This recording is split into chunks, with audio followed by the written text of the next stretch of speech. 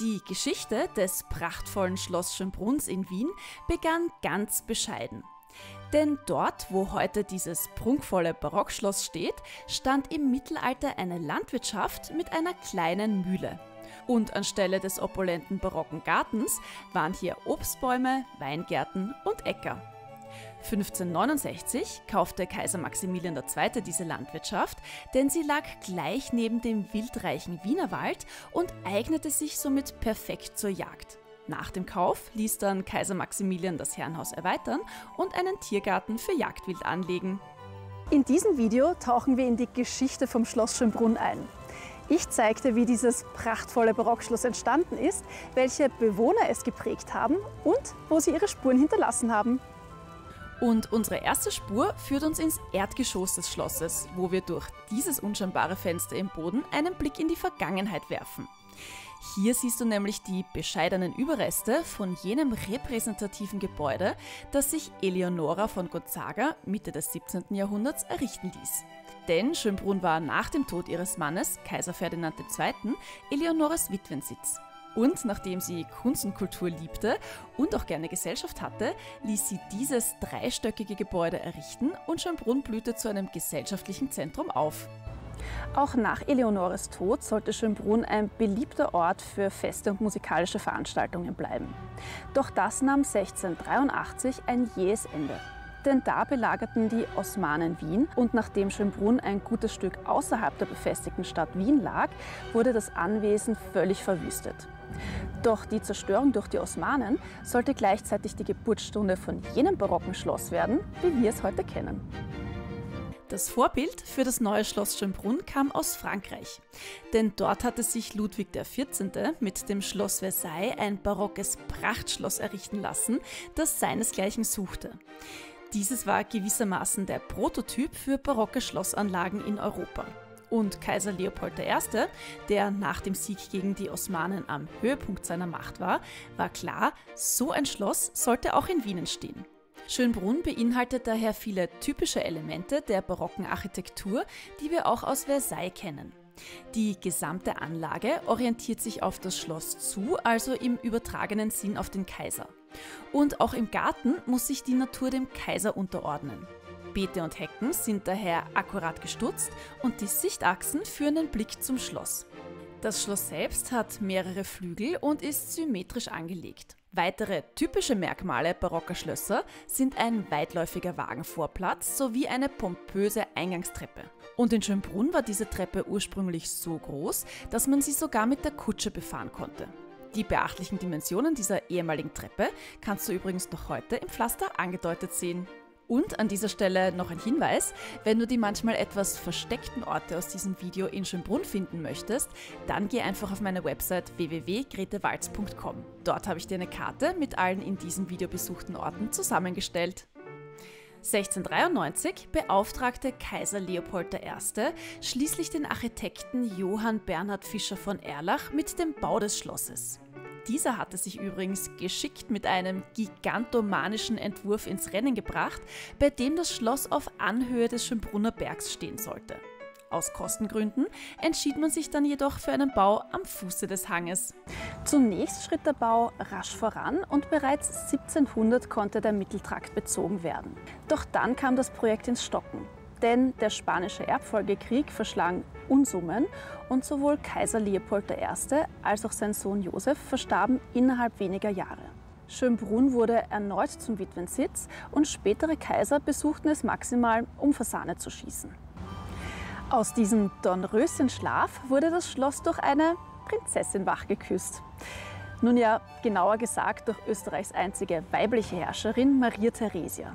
Sie hatte nämlich schon früh eine Vorliebe für das Schloss Schönbrunn und ließ es zu ihrer Sommerresidenz ausbauen. Bei ihrem Umbau verband Maria Theresia höfische Repräsentation mit einem pragmatischen Ansatz, was bauliche Kompromisse anbelangte. Und was sie alles umgebaut hat, sehen wir uns bei einem Spaziergang genauer an. Unseren Spaziergang auf Maria Theresias Spuren beginnen wir ganz klassisch mit einer Schlossbesichtigung. Dabei siehst du im ersten Stock des Schlosses viele Räume aus Maria Theresias Zeit. Was dabei auffällt, ist die besonders prunkvolle Ausstattung der Räume. Das war natürlich Absicht, denn im Barock drückte man durch möglichst viel Prunk und Protz die Macht des Herrschers oder in diesem Fall der Herrscherin aus.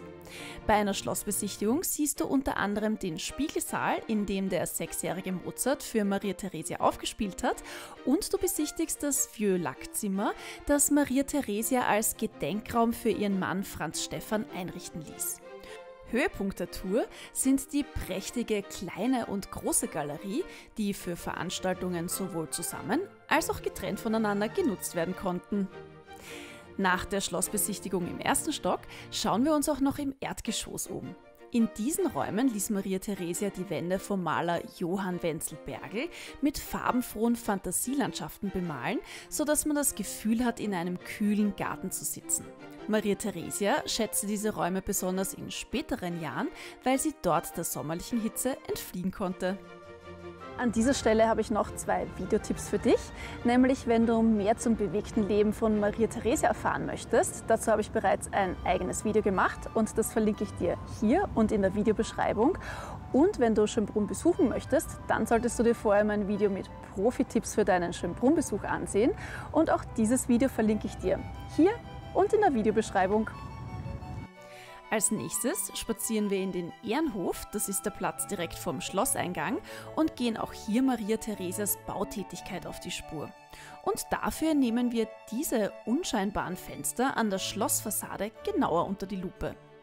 An diesen schmalen Fenstern erkennst du nämlich jenes Zwischengeschoss, das Maria Theresia einziehen ließ, um ihre 16 Kinder plus Hofstadt unterzubringen. Für das Zwischengeschoss wurde die Decke der Nobeletage kurzerhand abgesenkt und der Boden im Stock darüber angehoben. Und voilà, besagtes Mezzanin entstand. Und wenn wir schon im Ehrenhof sind, schauen wir auch gleich zum Schlosstheater. Denn besonders in jungen Jahren liebte Maria Theresia Spektakel aller Art und musikalische Aufführungen waren ein fixer Bestandteil des Lebens am Wienerhof. Daher wurde in Schönbrunn ein eigenes Theater gebaut, in dem Josef Haydn und Wolfgang Amadeus Mozart ebenso auftraten wie die Mitglieder der kaiserlichen Familie selbst.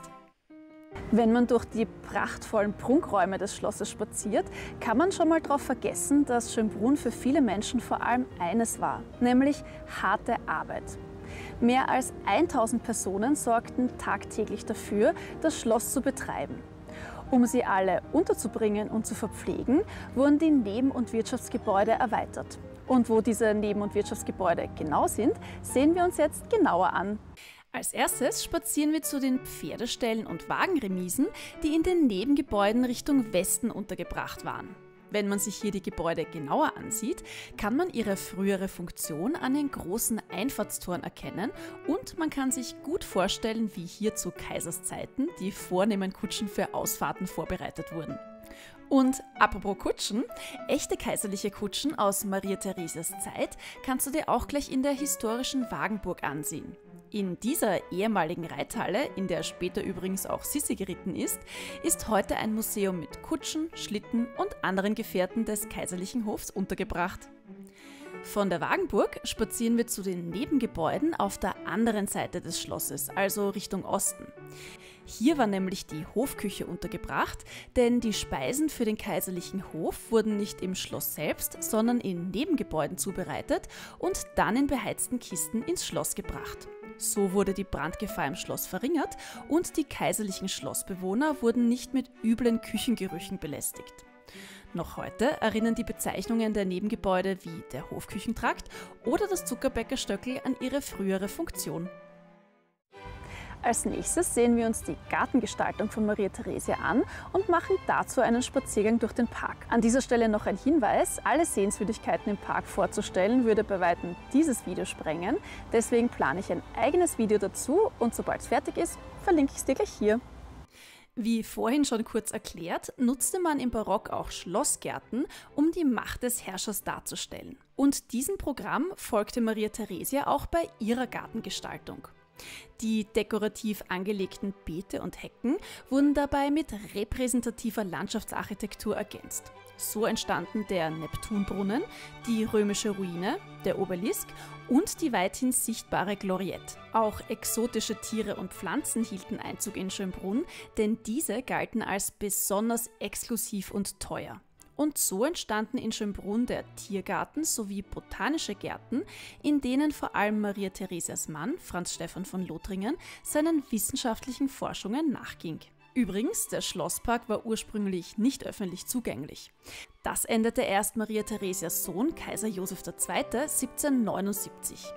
Die Öffnung der kaiserlichen Gärten, die beim Adel übrigens für ziemlichen Unmut sorgte, sollte nur eine seiner zahlreichen Reformen sein. Mehr über Josef II. und sein umfangreiches Reformprogramm erfährst du in diesem Video. Oder du tauchst in diesem Video noch weiter in die Geschichte von Schönbrunn ein. Vergiss außerdem nicht meinen Kanal zu abonnieren. Dankeschön und bis bald!